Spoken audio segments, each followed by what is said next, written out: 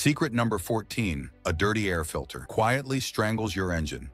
Think of your air filter as your engine's lungs. You don't notice it choking until stuff starts going wrong. On modern cars, the ECU adjusts fuel injection based on the airflow measured by sensors, so you might not see an instant MPG disaster. That's where a lot of people stop, and that's the problem. Here's what actually happens with a clogged filter. Your engine has to work harder to pull in air. Cold starts get rougher, especially in winter.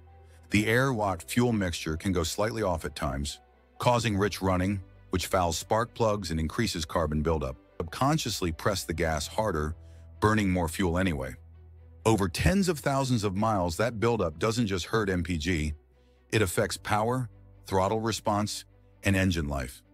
Most manufacturers recommend checking the air filter at every service and replacing it every 12,000 to 15,000 miles, or sooner in dusty areas.